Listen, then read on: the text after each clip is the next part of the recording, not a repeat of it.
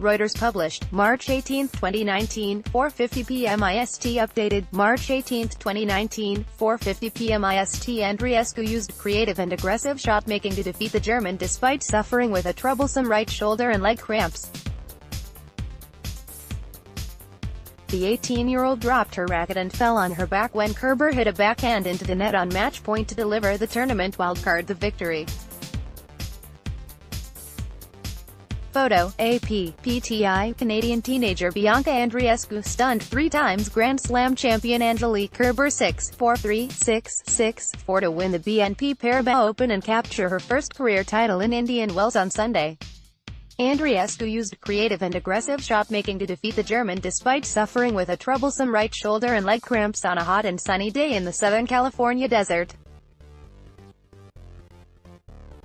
The 18-year-old dropped her racket and fell on her back when Kerber hit a backhand into the net on match point to deliver the tournament wildcard the victory.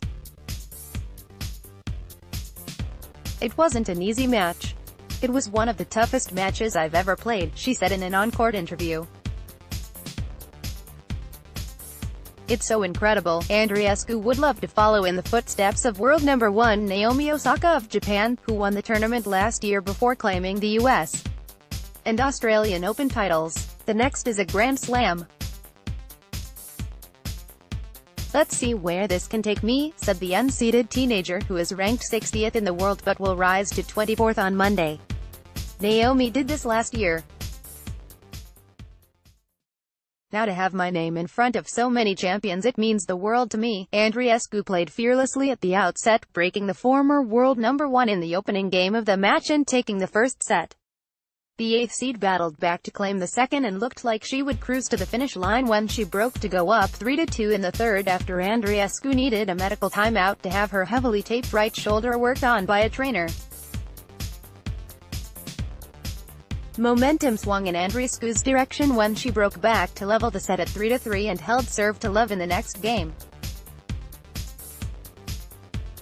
Nerves appeared to get to Andreescu near the end, when Kerber saved three match points behind some stout defense. But Andreescu broke the German in the next game to claim the title and become the youngest woman to win at Indian Wells since 17-year-old Serena Williams in 1999. Hopefully this moment can be a great inspiration for many young athletes, she said. If you believe in yourself anything is possible.